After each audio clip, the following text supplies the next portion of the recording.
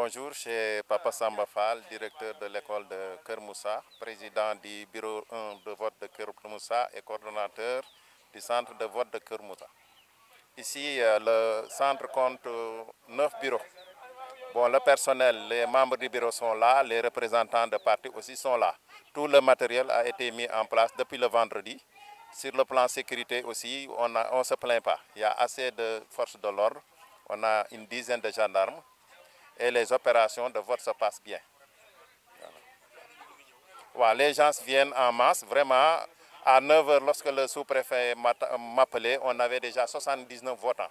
Donc après une heure de vote, si on a 79 votants, donc si on multiplie ça par 10, bon, on peut se trouver avec 600 à 700 votants jusqu'avant 18h.